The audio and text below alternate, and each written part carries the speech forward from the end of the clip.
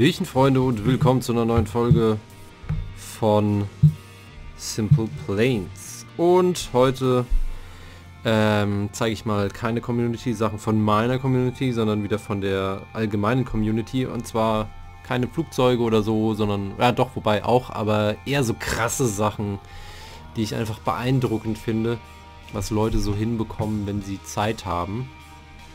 Und das mache ich jetzt heute direkt am Anfang. Im Nachgang ähm, will ich dann etwas bauen. Das wurde schon öfters vorgeschlagen, wollte ich aber sowieso von Anfang an schon mal machen. Ich würde gerne heute versuchen, einen Doppeldecker zu bauen, vielleicht sogar einen Dreifachdecker. Mal gucken, wie ich es hinbekomme. Aber nicht irgendwie nach Vorbild, sondern das mache ich heute einfach frei Schnauze. Aber wir gucken uns jetzt erstmal ein paar Flugzeuge an. Und zwar, äh nee, nicht Flugzeuge. Fahrzeuge, generell Fahrzeuge. Und zwar habe ich hier äh, einen Panzer gefunden, den ich ziemlich cool finde. Soll äh, Abrams sein, also M1 Abrams äh, sieht aber nicht aus wie einer, dafür ist er schlicht und ergreifend viel zu kurz und dementsprechend dann auch etwas zu breit, aber er sieht nicht schlecht aus, nur ein Abrams ist es nicht, auch die Kanone ist falsch und bla bla bla. Auf jeden Fall coole Sache und den will ich jetzt mal ausprobieren, weil die Panzer sind immer so eine Sache, die sind nämlich sauschwer herzustellen. Dass die dann auch letztendlich mal fahren. Jetzt muss ich mal gucken. Ob das Ding auch ordentlich funktioniert. Ich habe mir ehrlich gesagt die Anleitung von dem Ding nicht durchgelesen. Aber gut, der Turm funktioniert schon mal ohne Probleme, aber das war zu erwarten. MG funktioniert auch. Äh, als Waffen hat er wahrscheinlich Raketen verwendet. Jupp. Aber gut, wie hätte man es auch dann anders darstellen sollen? Gut. Aber mir ist noch nicht ganz klar... Achso, das hier ist zum Hoch und Drunter. Aha. Mir ist noch nicht ganz klar, wie ich das Ding hier zum Fahren bekomme. Und das ist uncool. Naja, auf jeden Fall sieht ganz cool aus, aber das wollte ich euch vor allem nur mal zeigen. Äh, so von wegen, man kann auch Panzer herstellen. Dann will ich euch noch zeigen... Wo ist es? Wo ist es? Wo ist es? Wo ist es? Da, das hier. Das fand ich so krass, ey. Das ist kreativ. Ein Tuk-Tuk. Die fahren, glaube ich, vor allem in Vietnam und sowas rum. Und es ist ein Badlands Tuk-Tuk, also ein Endzeit-Tuk-Tuk. Für die Badlands, um irgendwelche Raider zu killen. Das ist ziemlich cool. Will mal gucken, was das so kann. Also fahren äh, tut es nicht. Warum nicht? Doch jetzt. Man muss aus irgendeinem Grund äh, die erste Gruppe aktivieren. Oben haben wir den Turm. Mit Gatling-Gang drauf. So, was passiert, wenn ich Gruppe... Oh mein Gott, die Bomben rutschen ab. Die Bomben rutschen ab. Bremsen. Oh mein Gott. Okay. Äh, was macht Gruppe 2? Ah, das ist Gruppe 2. Was macht Gruppe 3? Das wird abgekoppelt. Gruppe 4. Gruppe 5. Gruppe 6. Was ist da los? Okay, das kann gar nicht so viel, das Ding. Das ist ja schade. Äh. Machen wir mal Gruppe 4 direkt an. Vielleicht... Nee. Kann ich die Bomben anwählen? Auch nicht. Aha. Nee, das habe ich eben schon gemacht. Aber das ist ja blöd. Ich habe gedacht, das könnte was. Zum Beispiel hier irgendwie vorne äh, das Ding hier runterfahren oder so. Boah, da bin ich jetzt ein bisschen enttäuscht. Aber gut, macht nichts. Cool aussehen sieht es trotzdem und es fährt. Ähm, was hatten wir noch? Was wollte ich euch noch zeigen? Das hier. Das finde ich krass. Allein das Design ist der Hammer. extrem futuristisch und ich bin mal gespannt, ob das Teil auch fliegen kann. Das ist ein STVOL-Gedöns.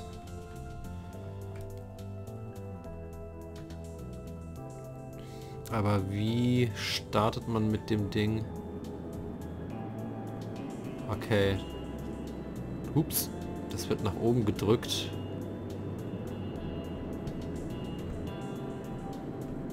Zwar richtig dolle nach oben gedrückt. So. Das Ganze jetzt nach vorne verlagern, das Gewicht. Guck mal, das dreht sich alles. Hä, wie hat er das denn gemacht? Wahrscheinlich sind... Ah, da ist ein Motor dran, okay. Strange shit, würde ich mal sagen. Wie hat er das denn gemacht, dass der Motor sich dreht, wenn man mit den normalen Tasten lenkt? Das verstehe ich gerade nicht so ganz. Aber cool, dass es funktioniert. Wie viele MGs hat er da vorne verbaut? 2, 4, 6, 8 Stück. Erinnert mich auch so ein bisschen an Terminator irgendwie. Sau cool. So, was kannst du an Waffen? So, alles Boden, Luft, äh, Luft-Boden-Raketen. So, und jetzt versuche ich die Kiste mal zu landen, ey. Das sieht ein bisschen schwierig aus.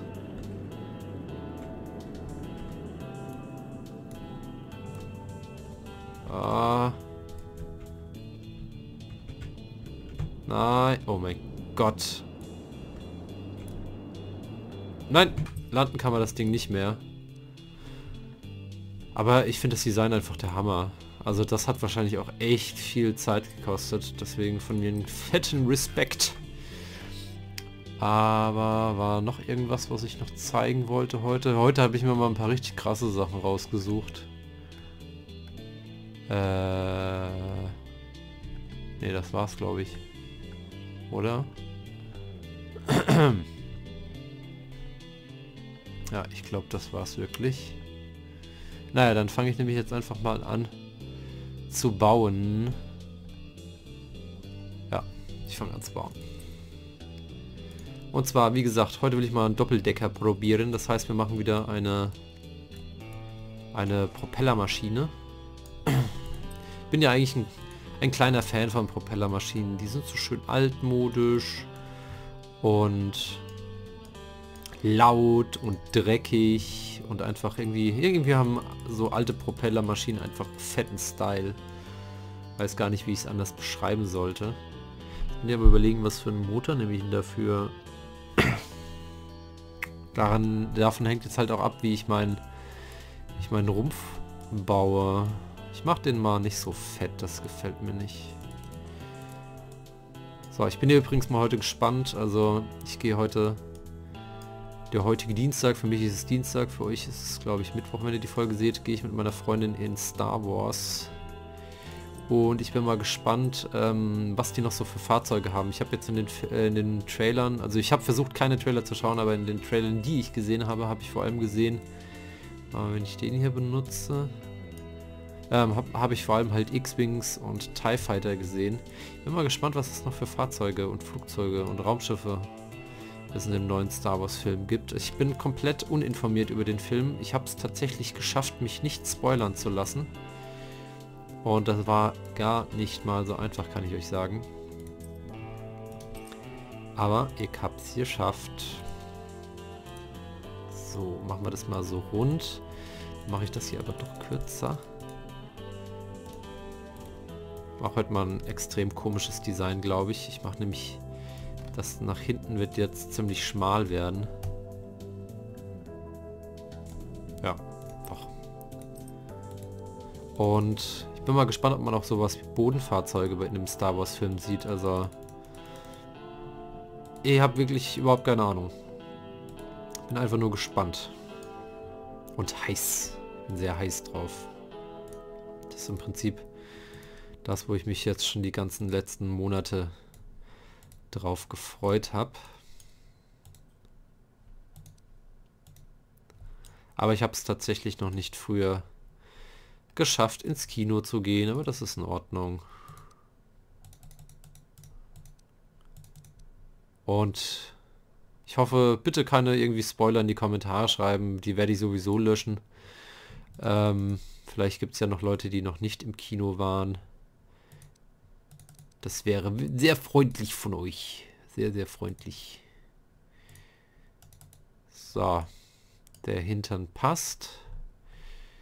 Und da muss jetzt noch... Was muss denn da jetzt noch drauf? Da muss jetzt noch ein Nose Cone drauf. Mal. Wobei, wenn ich das hier nochmal spitzer zusammenlaufen lasse... Ja, doch, das ist in Ordnung so. So. Was haben wir für Cockpits? Äh, da. Eigentlich... Ich glaube, ich versuche mal was. Eigentlich bräuchte man ja ein, ich sag mal, offenes Cockpit. Weil es gibt ja im Prinzip keine Kanzeln bei den Doppeldeckern, beziehungsweise also bei den wirklich alten Doppeldeckern gibt es ja in dem Sinne keine Kanzel, sondern das war ja quasi immer Cabrio. Weiß nicht, wie ich es nennen soll. So, ich versuche das jetzt mal einfach ein bisschen nachzustellen, dieses Cabrio-Feeling. Dann nehmen wir jetzt einfach mal hier dieses Cockpit. Das sieht aus, als wäre es im Prinzip nur eine Scheibe, eine Windschutzscheibe. Und jetzt brauche ich hier irgendwie etwas, das aussieht wie eine Versenkung. Dafür nehme ich irgendeinen Block am besten. Äh, hab schon eine Idee, ich weiß wie ich es mache. Äh, so.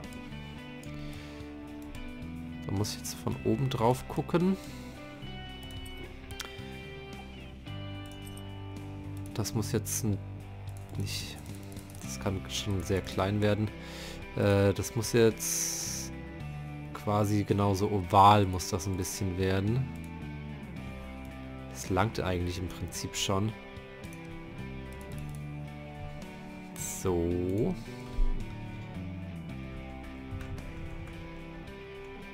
Nach vorne noch ein bisschen Rücken. Ah, scheiße. So einfach ist es doch nicht, wie ich mir das gedacht habe. So einfach ist es nicht, dass es nicht scheiße aussieht. Ah, kacke. Wie sieht denn das aus? Na, so kacke sieht es gar nicht aus. Ich mache das aber oben noch ein bisschen länger. Ne, Moment. So ist vielleicht sogar besser.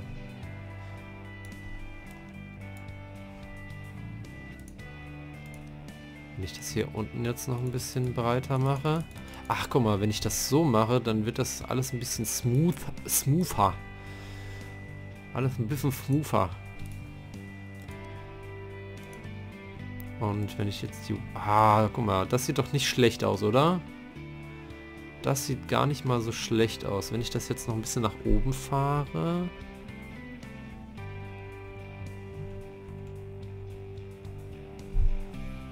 Dann gefällt mir das schon ganz gut, muss ich sagen.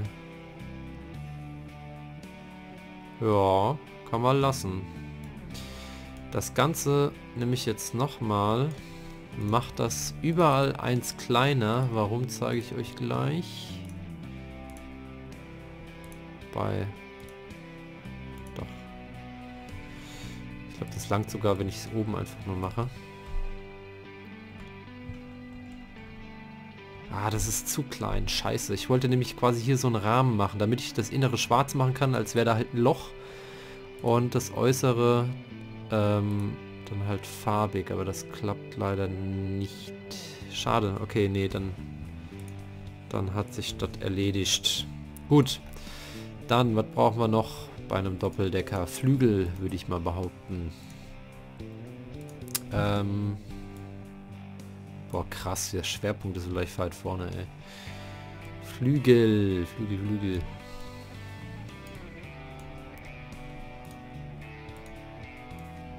Ich weiß nicht, die sind immer direkt beim, beim Piloten, oder? So. Dann noch den Wing Shape.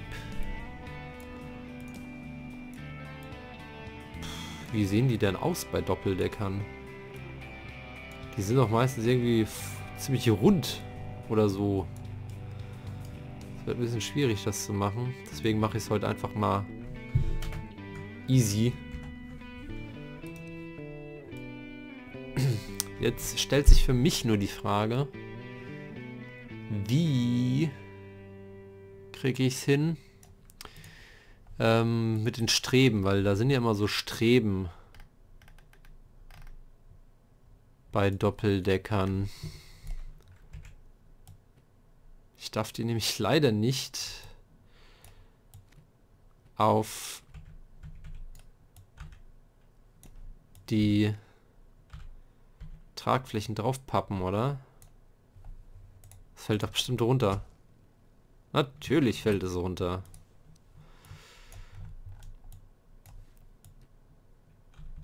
Das ist ein Problem jetzt.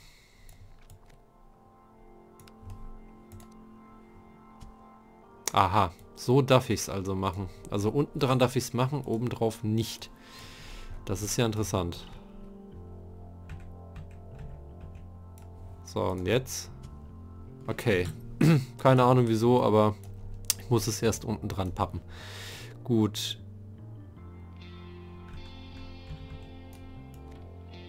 So. Äh, so. Da muss ich jetzt noch ein bisschen rumeditieren. Das soll ja natürlich ganz, ganz schmal werden. Der obere Flügel wird ein bisschen breiter. Okay, ich bin gespannt, ob ich das rüber kopieren darf. Tatsächlich darf ich sogar. Das ist ja freundlich von euch. So, und vorne von vorne natürlich auch noch.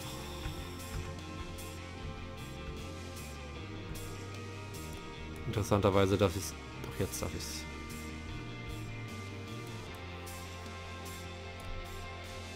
So, wieder rüber kopieren. Jetzt bin ich mal gespannt, ob ich den Flügel da oben drauf bekomme. Höchstwahrscheinlich nicht. Oder warte mal, ich habe eine Idee. Wenn ich...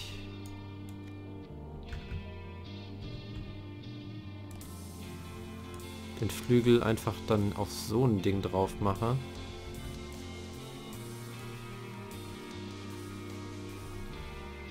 So. Geht das? Nicht so richtig. Nicht so, wie ich es haben wollen würde. Aber vielleicht, wenn ich das jetzt noch hin und her schiebe, vielleicht darf ich das doch machen. Bleibst du drauf liegen? Jupp, der bleibt, bleibt drauf liegen. Gerade überlegen, kann ich euch noch... Ups. Ich drehe euch noch, dann seid ihr wenigstens im Wind.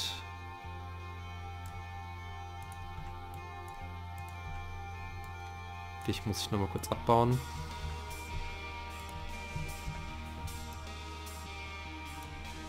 Streben sind natürlich fett eigentlich. Das wird mir vollkommen die Aerodynamik zerschießen, aber... So what? Was willst du machen? Was willst du machen, meine Damen und Herren? So, ich habe ja gesagt, der, Äußer der obere soll noch ein bisschen größer werden. So. Kann ich den auch noch ein bisschen nach da schieben? Kann ich den rüber kopieren? Jupp. Kann ich. Und jetzt brauche ich natürlich irgendwie in der Mitte noch ein Teil. Dann nehme ich am besten so ein Structural Wing. Bin mal gespannt, ob das hält, aber... Warum kann ich ihn das jetzt nicht verändern? Oh. Rückgängig. Rückgängig. Rückgängig. Gut, wie mache ich denn das jetzt? Anscheinend darf ich da ja nichts reinbauen. versuche es jetzt mal quasi schon vorzudefinieren, wie groß das Ding sein soll. Und jetzt nehme ich es und setze es da einfach...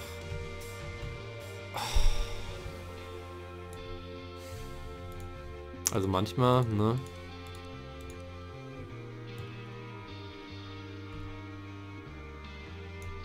Ja, noch nicht ganz. ja, jetzt darf ich es auf einmal. Ihr seid mir vielleicht ein paar Spaßvögel, ey. Wenn ich es jetzt noch nach vorne schieben darf, ist alles in Ordnung.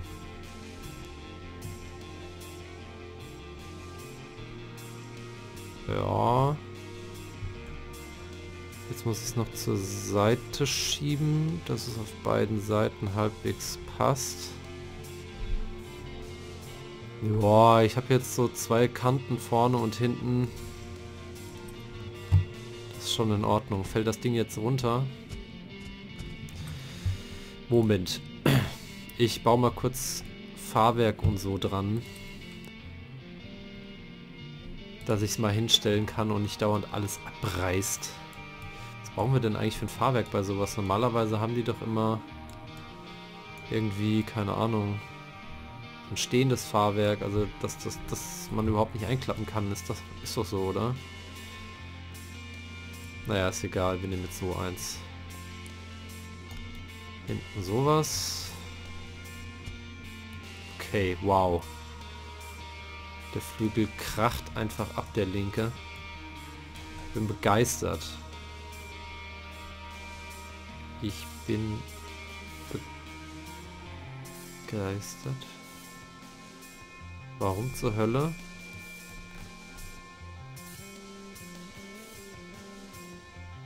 Hä? Warum steht denn das hier vorne über? Das darf nicht überstehen.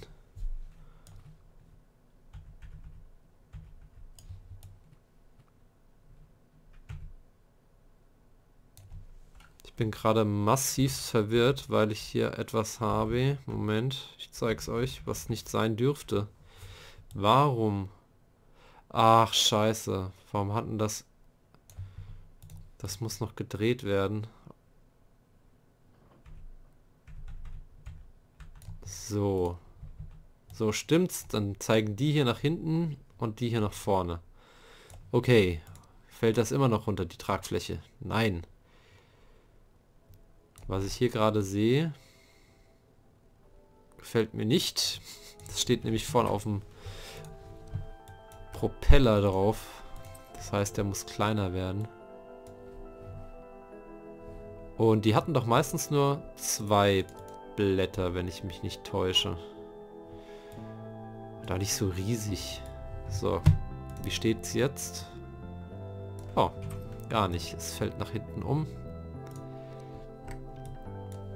Das heißt, Schwerpunkt... Nee, warte mal. Den Schwerpunkt jetzt einzustellen macht überhaupt keinen Sinn, bevor wir nicht äh, Sack gebaut haben. Weil dadurch ja nochmal Flügelfläche dazu kommt und so. Ne? So, den Wing will ich noch ein bisschen größer machen. So.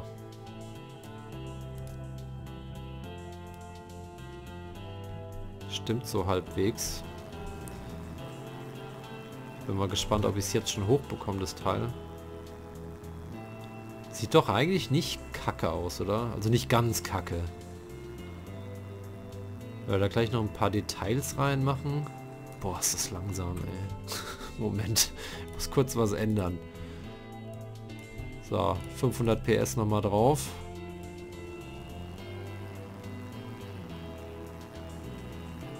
Warum rollt das so langsam? Das ist ja brutal.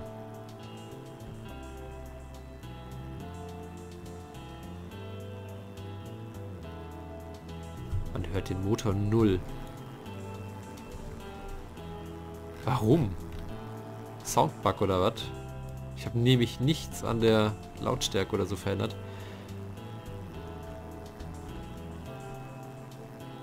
Okay, so richtig Speed kriegt man mit dem Ding nicht rauf.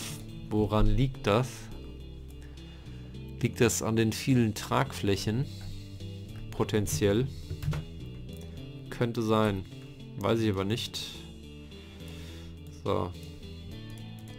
Probiere nochmal kurz ein bisschen anderen Schwerpunkt. Das ist jetzt ziemlich hecklastig.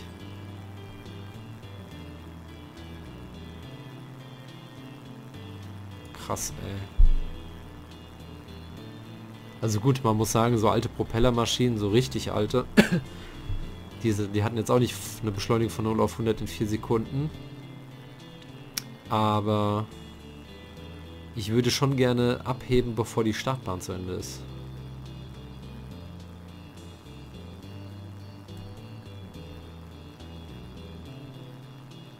Und das könnte knapp werden, sag ich mal. Könnte knapp werden. Wir haben 80 Sachen drauf, ey. Wir brauchen wahrscheinlich so... Wir brauchen nicht wirklich viel Geschwindigkeit, aber wir sind viel zu hecklastig.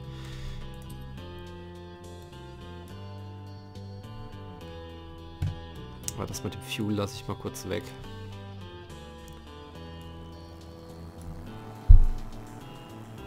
Ich würde gerne einmal abheben mit dem Teil. Ich frage mich, was da gerade so massiv das Teil hier bremst.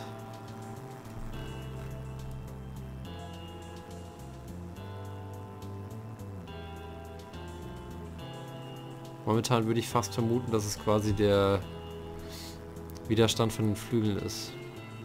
Aber genau beziffern kann ich es jetzt nicht. Ey. Wann hebt sich der Arsch? Jetzt, der Arsch hebt sich langsam. Seht ihr das hinten? Das Rad ist ganz leicht in der Luft.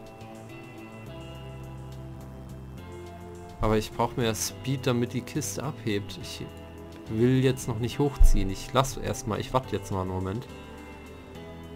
Liegt aber wohl ganz gut in der Luft. Sonst würde sich der Arsch wieder senken oder er würde hochgehen. Und da hinten ist die Startbahn zu Ende.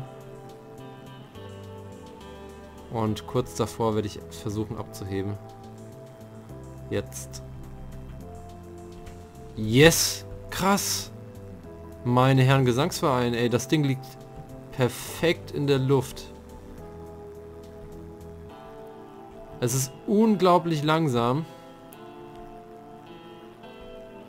Deswegen gehe ich jetzt mal ein bisschen auf Sturzflug, damit wir mal ein bisschen Speed drauf bekommen. Aber alter Falter, das fliegt.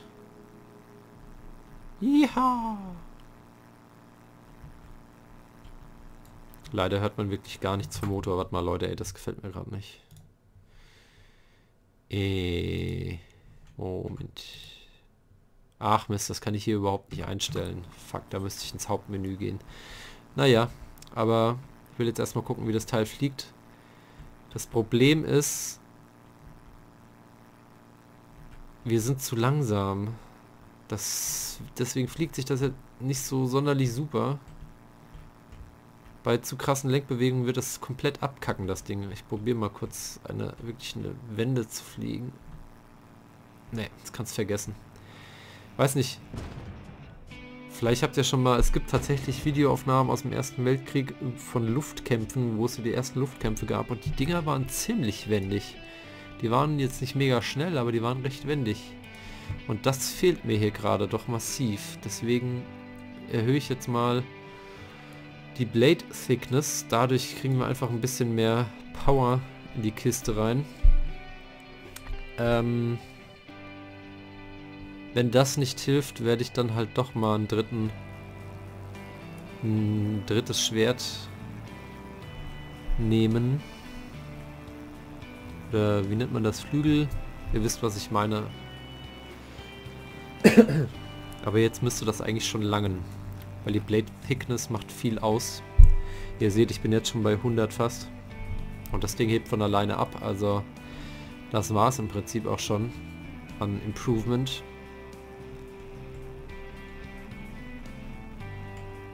Ja, jetzt zieht es aber ein bisschen nach hoch, äh, nach hinten hoch.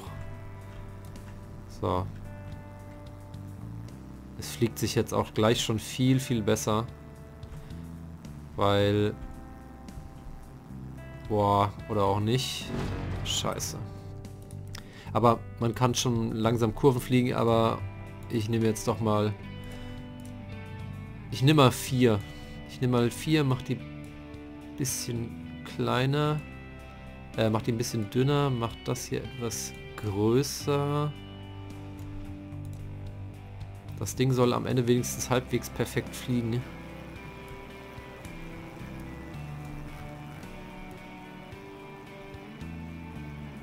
Boah. Krass. Aus irgendeinem Grund, warum auch immer, beschlägt sich das Ding jetzt quasi von alleine. Wir haben ein Looping-Flugzeug gebaut. Und ich nenne es Looping Louis. Nein.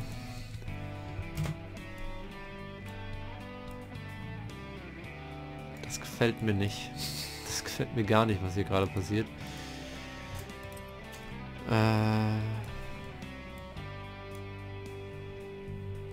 Warum tut es das? Warum tut es das? Ich kenne mich leider mit Flugphysik mal so gar nicht aus. Warum fängt sich das Ding jetzt an zu überschlagen?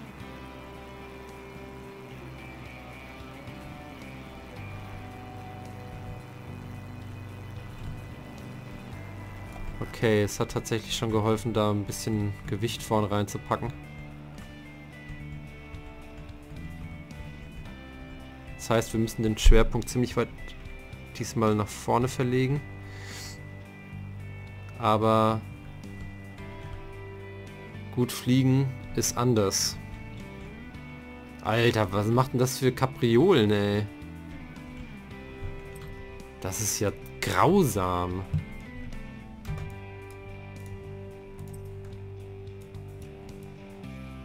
Das ist echt grausam, wie das hier gerade fliegt, das Ding. Vielleicht habe ich es auch komplett falsch gebaut, ich habe keine Ahnung. Hm.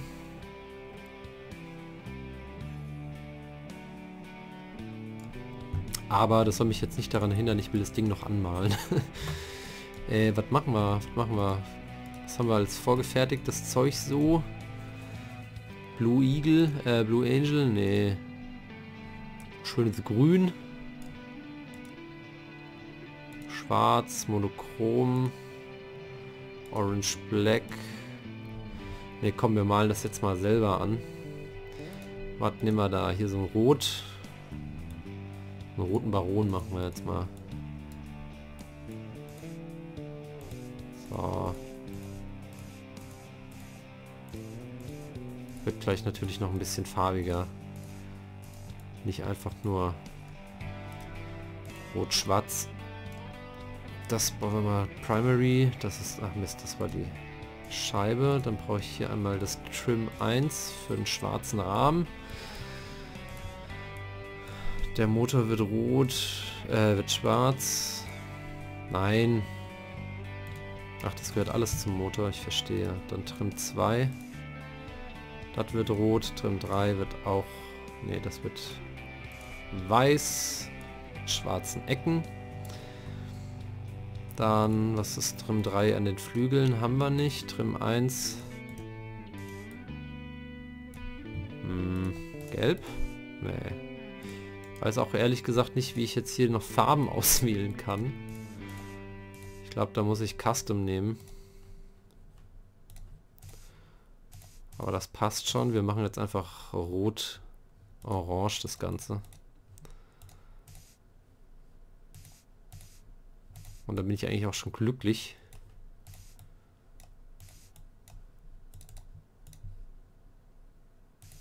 So, das wird auch noch richtig schön dunkel. Und damit bin ich eigentlich noch nicht durch, sehe ich gerade. So, roter Baron. Nur weil er hatte der einen Dreifachdecker, wenn ich mich richtig entsinne. Das Ding kriegt jetzt noch MGs dran. Eigentlich müssten die ja hier hin, aber ich weiß ganz genau, was passiert, wenn ich die ähm, an den Rotor packe. Da zersägt mir nämlich wieder alles. Deswegen baue ich die jetzt mehr hier oben in die Flügel ein.